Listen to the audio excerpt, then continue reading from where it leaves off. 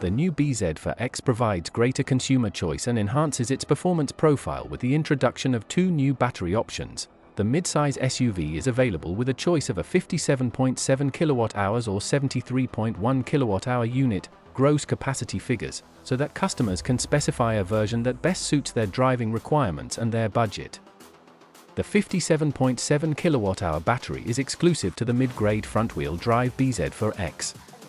The higher capacity 73.1 kWh unit is available in both front and all-wheel drive versions. The maximum driving range is achieved by the front-wheel drive model with the 73.1 kWh battery and 18-inch wheels. This version has a WLTP cycle distance of 569 km on a full charge.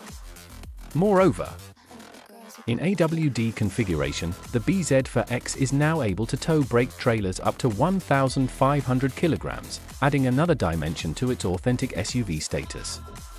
With front-wheel drive, towing capacity remains at 750 kilograms. The new batteries, supplied by Prime Planet Energy Solutions, PPES, are configured so that more cells, 26, can be contained in each module, without increasing the unit's overall dimensions. The 57.7 kWh battery has 78 cells and the new high-capacity unit 104 cells. This compares to the previous unit's 96. PPES is a joint venture company owned by Toyota Motor Corporation, 51%, and Panasonic Corporation, 49%, established in 2019. The water cooling arrangement uses refrigerant from the car's air conditioning system when needed to reduce the coolant temperature.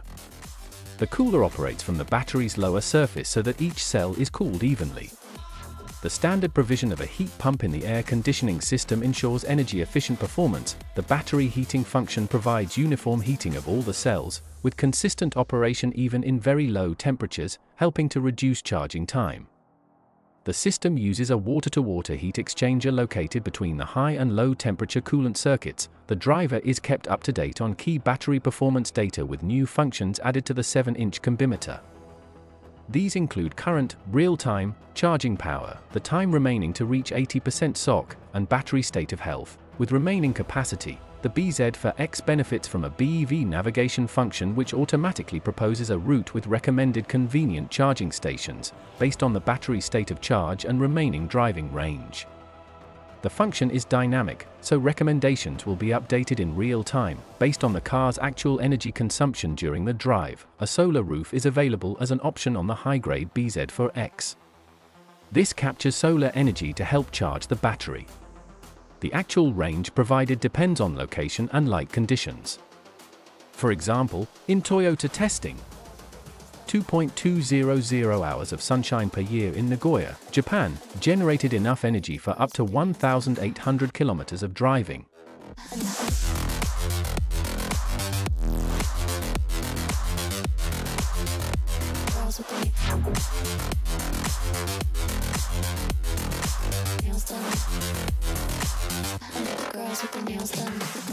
The complete update of the BZ4X BEV platform includes the adoption of updated e-axles. These compact, lightweight units integrate the key electric drive components, transaxle, motor, and inverter.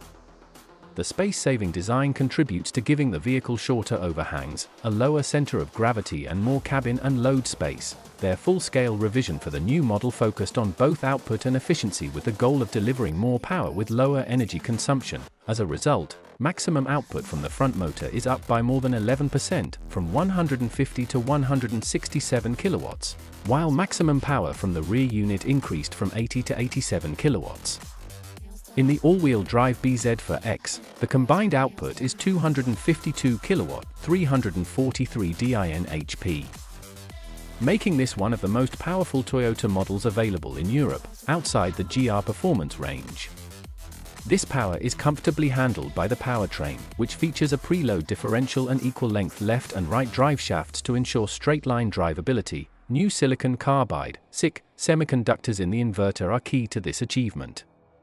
These are more efficient than the previous silicon type in handling high voltages, operating at high temperatures and delivering higher outputs. Toyota also sought to reduce energy losses wherever possible. This included applying a super polishing process to the surfaces of the gear teeth in the transaxle. Further gains were made by introducing an electric oil pump which uses less energy than the previous mechanical type.